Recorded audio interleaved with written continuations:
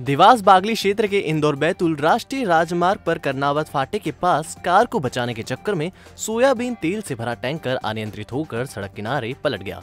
Tanker पलटने से उसमें भरा हुआ सोयाबीन का तेल टैंकर से निकलने लगा। इधर सोयाबीन से भरे तेल का टैंकर पलटने की खबर गाँव में आग की तरह फैली।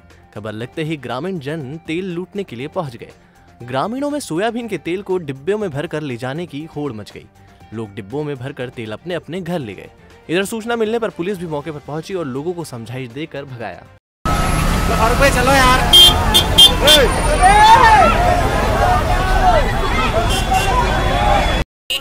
और बातों का इनको भरोसा नहीं। हाथों का ट्रालो भर के लिया इधर से पुल की पर्ची कटा नहीं नहीं नहीं।